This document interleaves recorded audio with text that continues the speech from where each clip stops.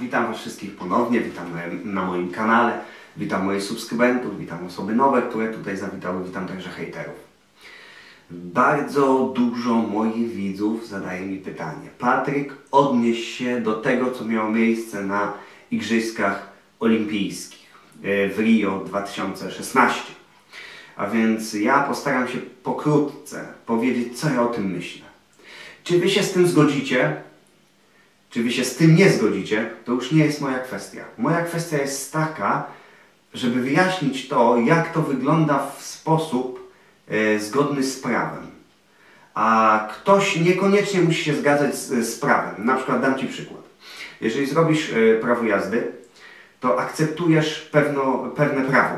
A więc akceptujesz to i, e, i mówisz, że będziesz to akceptował. Dlatego jest wydany Tobie e, e, jest wydane Tobie prawo jazdy. I dlatego możesz się poruszać autem po ulicach publicznych. Ale jeżeli złamiesz regulamin, to zostaniesz ukarany. Ale masz prawo, samego siebie prawo, to nie jest prawo e, e, ustanowione przez rząd, tylko masz prawo z samego siebie złamać ten regulamin. Ale jak złamiesz regulamin, złamiesz e, regulamin, który obowiązuje na ulicy, złamiesz prawo, no to zostajesz ukarany. A więc tak, na samym początku chciałbym Wam powiedzieć troszeczkę o sporcie. To nie będzie nic nowego. To nie będzie coś, czego Wy nie wiecie. Jeżeli, obojętnie jakie to są zawody, czy to są zawody piłki nożnej w szkole, na szkolnym boisku, czy to, są, czy to jest siłowanie na rękę, czy to są zawody kulturystyczne, czy to jest e, bieganie, czy to jest tenis, czy to jest e, podnoszenie ciężarów obojętnie jaki macie sport, jaką macie dyscyplinę, tam obowiązuje regulamin. Regulamin, y, na który wy się zgadzacie, wy się zgadzacie na ten regulamin, żeby y, brać udział w tych zawodach. A więc jeżeli nie zgadzasz się na regulamin, to nie masz prawa brać udziału w zawodach. Na Igrzyskach Olimpijskich w Rio 2016 mamy bardzo prosty regulamin.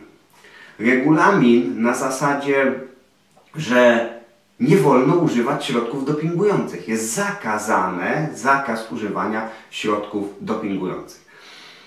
Środki dopingujące na takiej imprezie jak e, Igrzyska Olimpijskie jest to coś, co jest nazwane oszustwem. A więc e, to jest nazwane przez wszystkich.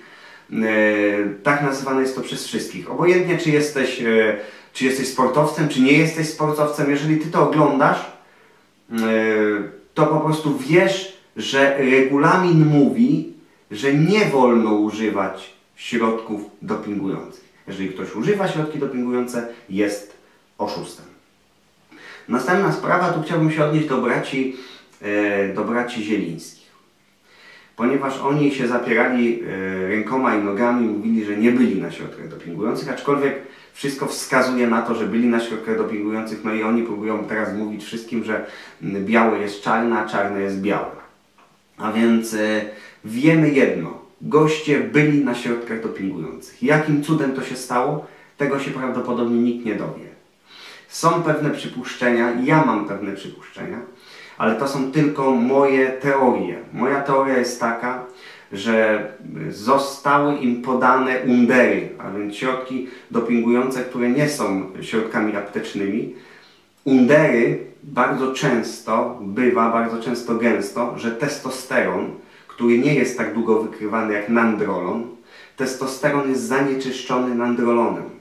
Nandrolon jest wykrywany przez 18 miesięcy, a więc prawdopodobnie na takiej zasadzie wpadli bracia Zielińscy. To jest moje, moja teza, że były środki, zostały im podane środki, w których, które były zanieczyszczone nandrolonem.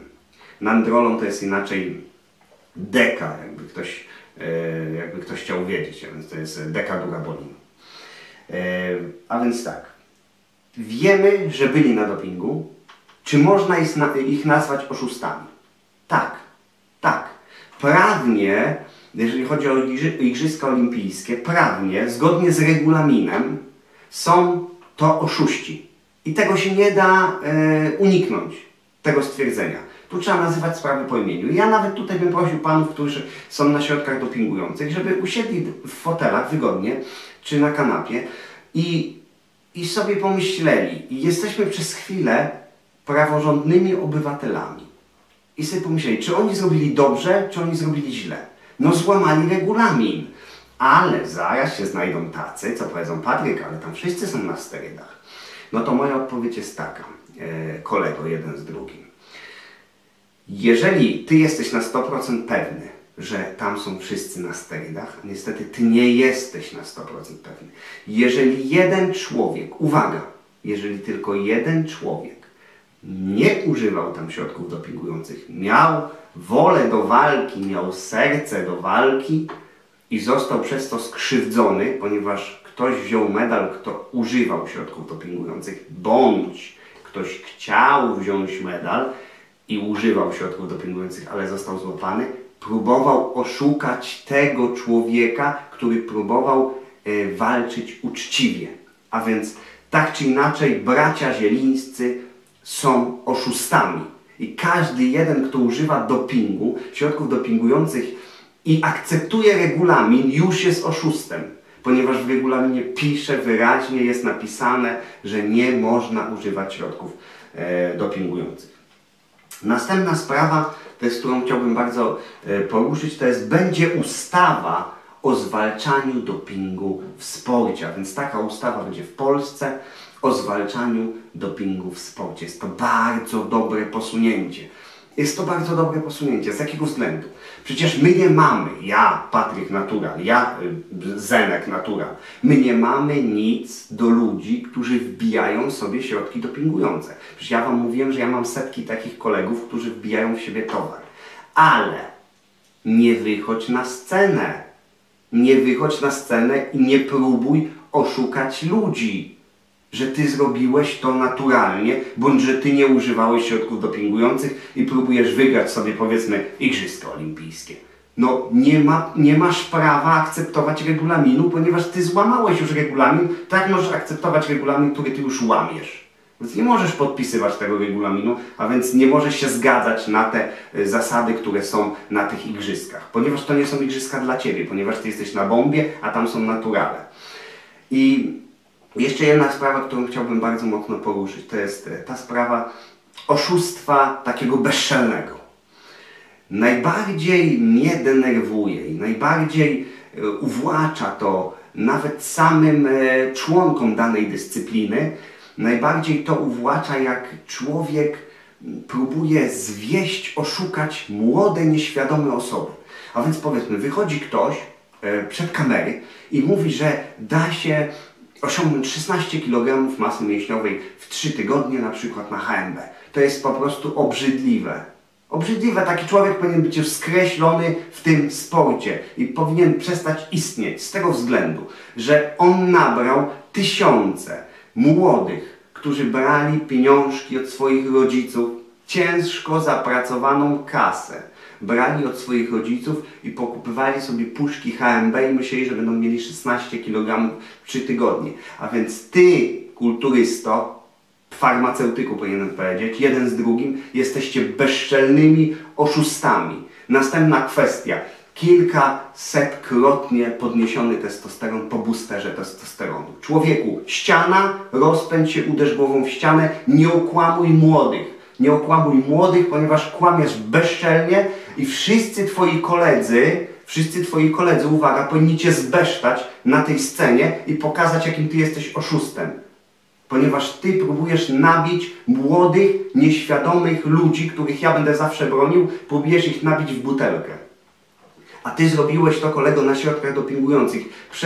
Przestań, gadać głupoty. Następna e, e, sprawa, którą chciałbym poruszyć, to jest już taka ostatnia kwestia, to jest bardzo ciekawa. Jestem z tego bardzo zadowolony. Spadło na mnie milion hejtów, ale jestem zadowolony z tego, uwaga, że dużo ludzi, nawet ostatnio jakiś youtuber, dużo ludzi zauważyło przesłanie mojego kanału. To jest po prostu piękne. Mówią, Patryk ma złe metody. On źle, on karci tych kulturystów, ale jedno ma w sobie dobre, że ostrzega młodych przed środkami dopingującymi. To mi się bardzo podoba. Ja jestem po prostu, po prostu jestem tak szczęśliwy, że wy tego nie, nawet nie potraficie yy, zrozumieć. Ja ostrzegam i mam, tak jak już wam mówiłem, setki wiadomości u siebie na skrzynce. Patryk, chciałem wziąć środki dopingujące, ale zrezygnowałem, ponieważ zobaczyłem Twój kanał. Dziękuję Ci, mistrzu, yy, dziękuję Ci bardzo. I to mi się najbardziej podoba. I to jest mój sukces. To jest sukces mojego kanału i tego mi nikt nie odbierze. A metody, którymi ja działam, nie każdemu muszą się podobać. Moim zdaniem najlepsza metoda jest jak pokażesz, dasz przykład. Ja daję przykład cwaniaków, oszustów.